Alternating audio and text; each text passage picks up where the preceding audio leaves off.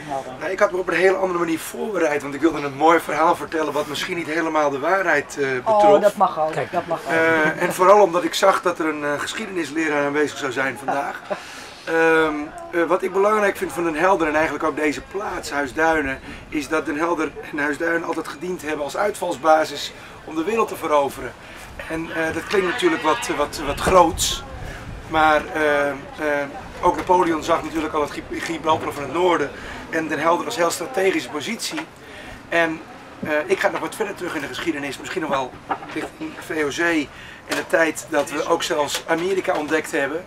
En die Jannen en de Kezen die uit de kop van Noord-Holland uiteindelijk vertrokken vanuit Horen, Enkhuizen, uiteindelijk hier voor de Ree lagen en misschien hier nog wel de laatste boodschappen gedaan hebben voordat zij vertrokken elders. En de Jannen en de Kezen uit Noord-Holland, die vertrokken naar inderdaad de Oost, maar ook naar Nieuw-Amsterdam. En zo is het ook dat vanuit Den Helder feitelijk honkbal ontdekt is. Oh. Ja, dit is een heel mooi verhaal. Want dat geeft ook maar weer aan hoe belangrijk Den Helder is geweest in de wereldgeschiedenis. eh, als uitvalsbasis. Want wat was er aan de hand? De Jannen en de Kezen kwamen aan de kant bij Nieuw-Amsterdam. En Peter Stuyvesant haalde ze binnen en gaf ze een pakje sigaretten. En de Jannen en de Kezen die liepen daar wat rond en kwamen de Engelsen en de Ieren tegen. En de Engelsen en de Ieren waren feitelijk niet echt blij met hun aanwezigheid. En ze hebben nogal wat met elkaar gevochten in kroegen. En zo kwam het natuurlijk dat de Engelsen een scheldwoord hadden voor de Jannen en Kezen uit de kop van Noord-Holland. Ze noemden ze de Yankees.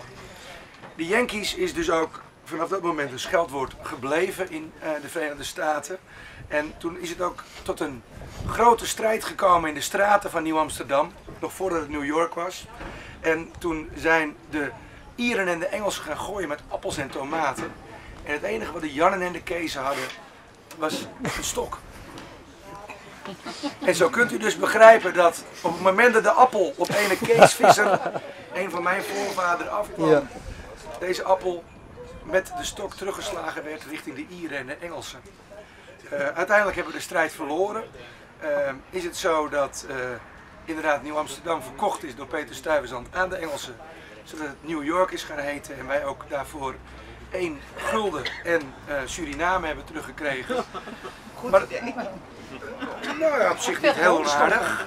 Maar het allermooiste is, we vinden dit verhaal in werkelijkheid ook nog terug in New York. Omdat er een fantastisch groot stadion gebouwd is waar het Helderse honkbal nog geëerd wordt. En dat is het New, York Yankee Stadium van de New York Yankees. Dus vanuit Den Helder hebben de Jannen en de Kees uit Noord-Holland honkbal uitgevonden.